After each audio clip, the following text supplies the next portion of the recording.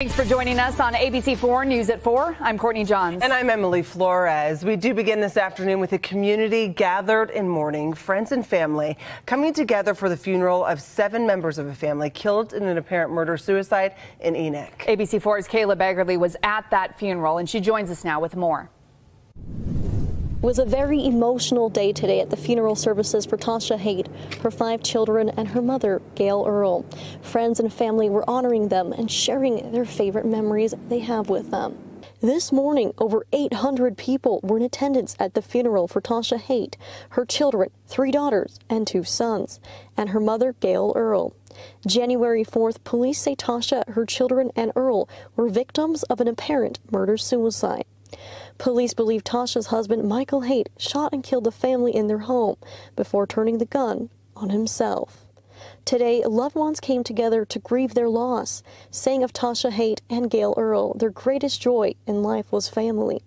Tausha was known for being a wonderful mother and having strong faith in the Church of Jesus Christ of Latter-day Saints. Gail Earl was remembered for her kindness, and their children were described to be loving and a blessing to everyone who knew them. Clearly, we see a great tragedy here.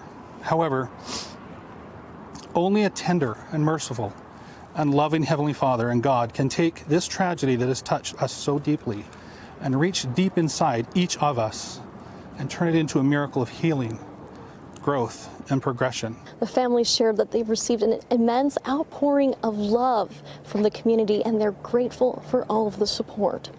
Reporting from La Verkin, Kayla Baggerly,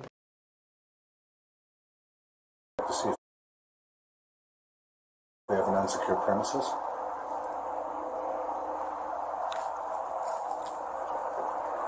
Like checking the door handle.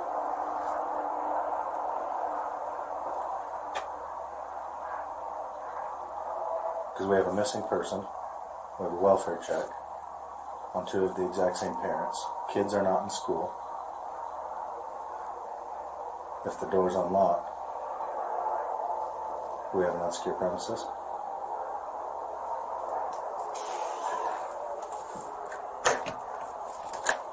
It's locked.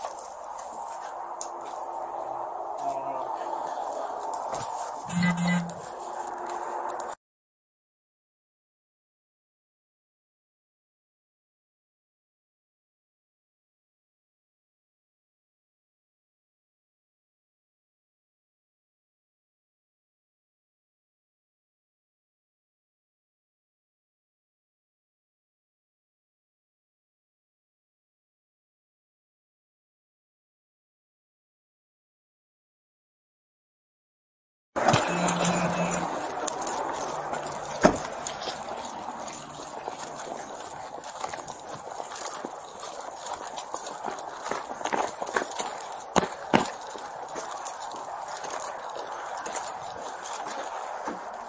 the bishop and the Isaac inside. Just go here.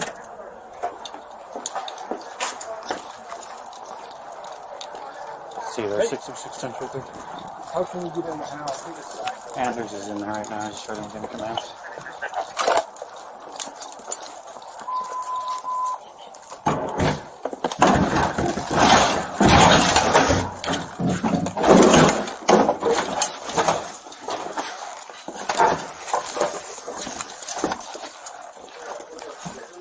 Right here. Blue!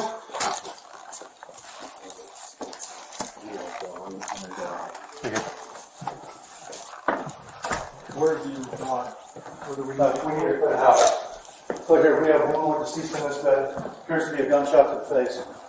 Check in this room back here. Hello, please. One deceased here. Okay, Making good. Uh, I'm checking here. Okay. No, you're good. Wait. Got it? Good. One more. Gunshot back of the head.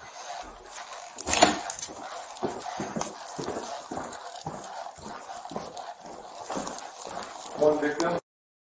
Gunshots to the head. Police! If you're down here, make yourself known! Two, four, six stores, Hold, right? hold right there. Got it. Can you I've got see these. Uh, one more up top, blood on bed.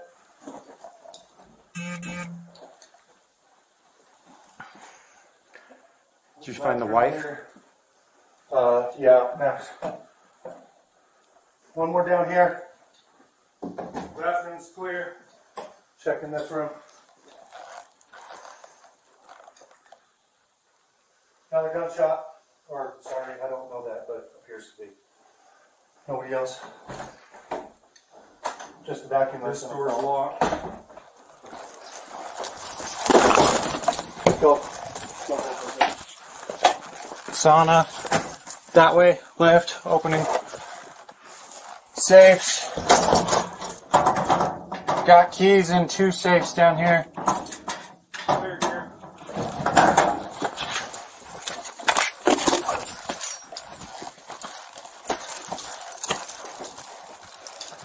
Go to the left.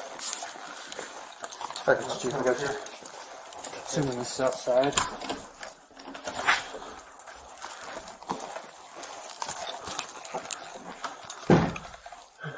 That's Got another dead body. This is Michael here. Put it in one door, chief. Hold on. Go ahead, six, seven, one.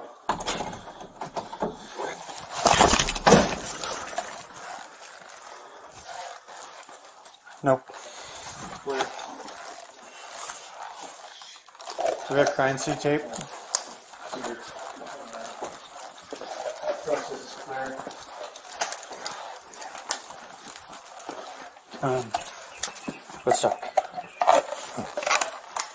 I'm just letting dispatch know the house is clear. Hold on. Don't come in. Nobody go upstairs and don't let anybody in. Hey, stay out.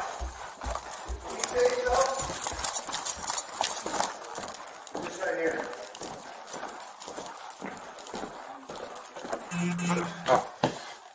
We need crime scene tape. Start fencing The off everything. You got some in your car? no. 'Cause I can't. Call Gary.